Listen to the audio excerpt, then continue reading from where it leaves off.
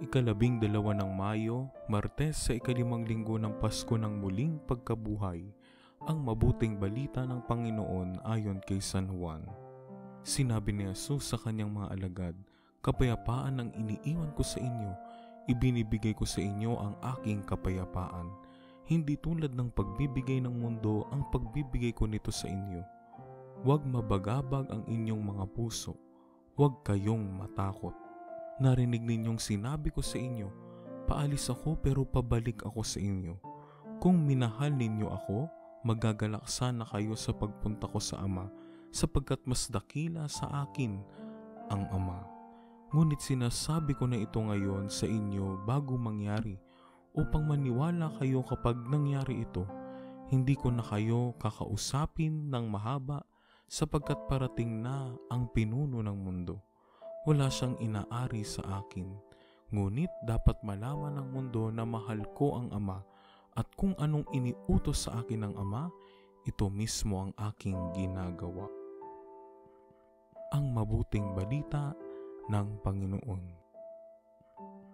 Pagsasadiwa, kapayapaan ang iniiwan ko sa inyo, ibinibigay ko sa inyo ang aking kapayapaan.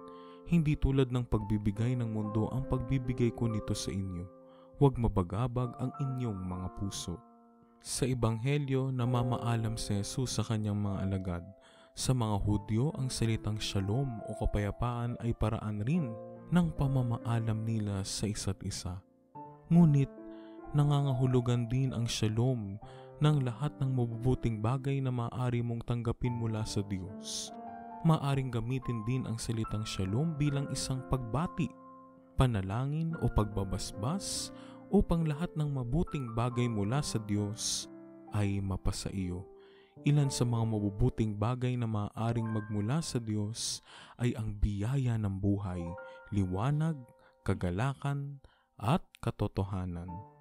Sa paningin ng tao, mayroong kapayapaan o shalom sa mundo kung walang digmaan o hindi nag-aaway ang mga tao ang hatid na kapayapaan ni Jesus ay higit na malalim sapagkat hindi lamang ito pag-iwas sa hidwaan o digmaan, kundi pagsusulong ng buhay na ganap at kasiyasiya. Nasa kapayapaan ang tao kung alam niyang nabubuhay siya ayon sa kalooban ng Diyos at malinis ang kanyang budhi.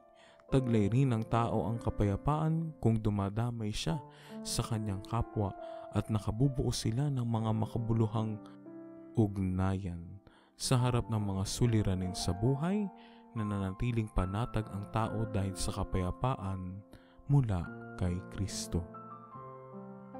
Pagsasagawa, magbalik tanaw sa problemang dumating sa iyong buhay. Hinarap mo ba ito ng may kapayapaan?